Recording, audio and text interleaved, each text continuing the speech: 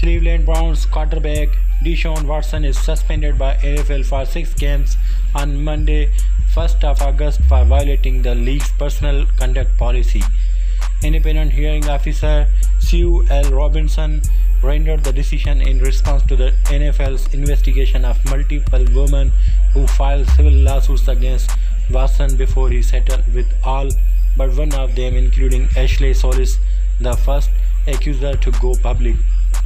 The woman whom Watson hired for messages accused the QB of sexual misconduct or sexual assault.